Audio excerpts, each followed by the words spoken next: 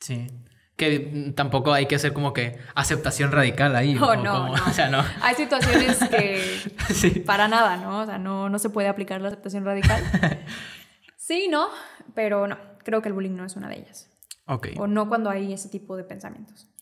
¿Y cómo, cómo, cómo disiernes cuando es, cuando es válido aceptar radicalmente algo y cuando no?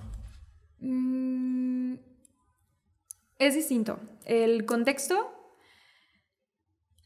Aceptación radical sería como más algo cotidiano, algo que, que sale de ti, que está en tus manos, como decías. Una estrategia de regulación emocional. Ok. Decía. Entonces, yo, por ejemplo, en esta situación de que tengo esta persona que me ataca y me ataca y me ataca y sé que incluso el responder, ¿no? El decirle, ya lo hice y pues el maestro me dice, mm, pues mijito, sí. ni modo, ¿no? ah, pues sí, ve, con la psicóloga que está ahí en, en la escuela, ¿no? O sea, y que no hay mucho más que hacer. Eso es algo que sí hay, ¿no? Sí te va bien. Sí te va bien, pero en la mayoría de los casos pues no, no pasa.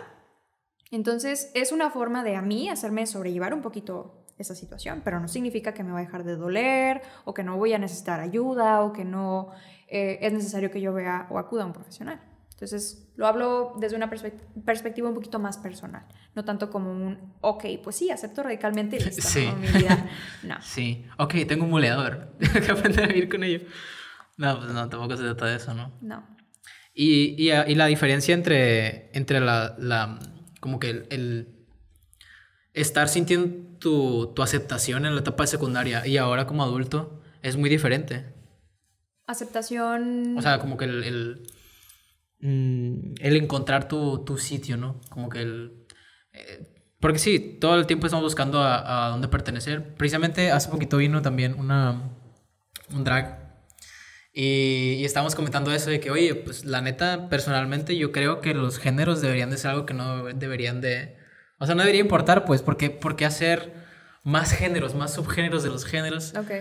Si, si al final de cuentas uno pues no tendría por qué andar dando explicaciones o, explicando qué le gusta, qué no, cómo se identifica uno. Pero también entiendo la contraparte de que los géneros te hacen sentir que perteneces o te hacen sentir identificado con un grupo en donde te sientes cómodo, donde te sientes aceptado, hasta tú mismo te sientes aceptado ya que los otros te aceptan, que es pues, bastante controversial porque la aceptación debe venir de uno, ¿no? Pero, pero sí, o sea, ¿cómo, cómo se lidia ahora eso en, en, en una edad más mm, grande?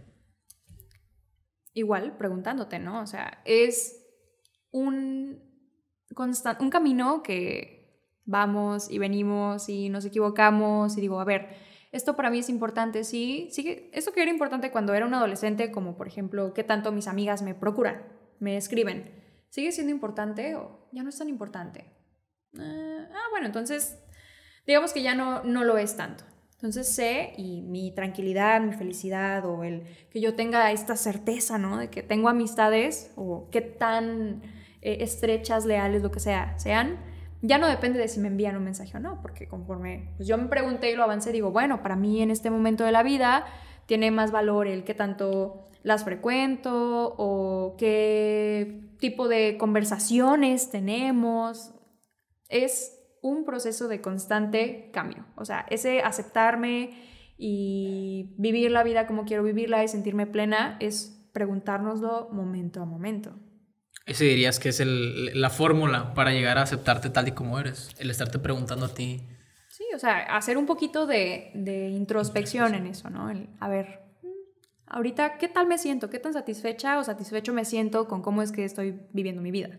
Y sí, habrá momentos en los que pues sí, estés como, ah, bien, bien, bien satisfecha. Y habrá otros momentos en los que no, que tu mente te diga, no estás haciendo nada, ¿no? Así todas las crisis que habidas y por haber que existen. sí. Pero... Llevo dos días sin hacer nada. Ajá. Pero finalmente em, implica con qué tanto tienes claridad en lo que para ti es importante y pues también qué tanto estás haciendo para que eso suceda. O sea, qué tanto participas en pues obtener esta congruencia, ¿no? Si para mí es importante en este momento de mi vida el trabajo y yo me siento pues, satisfecha con cómo es que hago mi trabajo porque, no sé, llego temprano todos los días o porque le dedico el 100% de mí cuando estoy en el consultorio, ah, bueno, pues eso me hará sentir ah, pues plena, satisfecha, a gusto. Sí, o sea, tú mismo tienes que determinar lo que a ti te hace feliz. Sí, y yo creo que eso ah, es un, un detalle bien importante, o sea, empezamos a evaluar esta felicidad, esta tranquilidad, el, pues que también me siento midiéndonos con la vida del otro. Sí. Midiéndonos con lo que pues me dijeron que tenía que hacer, no sé, mis papás, ¿no? O incluso mis amigos. O con la aceptación de otras personas, ¿no?